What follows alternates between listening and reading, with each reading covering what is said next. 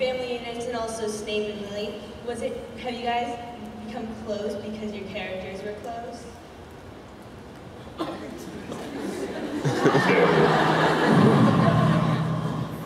Um, I, we've all become very kind of close because we've worked with each other and we have become quite close friends. And hopefully that friendship will last because it's just been great working with everyone and I've really enjoyed it. So yeah. Yeah, me, me and Arthur are constantly hugging each other off, off all this stuff, so I think that probably answers the question.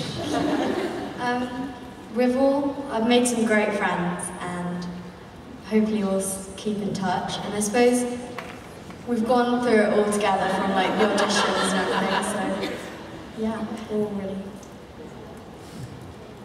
Uh, me and Will, and everyone here, pretty much. Uh, what are you going to say?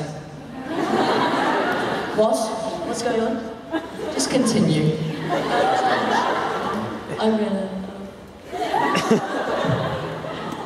Well, I think we've got kind of positive relationships here because I remember like in the part when we've been watching the Harry Potter and the Deathly Hallows screenings, uh, afterwards we went and had pizza at Pizza Hut in Leicester Square. So we're now kind of good friends. Basically, Pizza Hut equals friends. And I think anyone who follows these guys on Twitter can say that, you know, they're pretty good friends.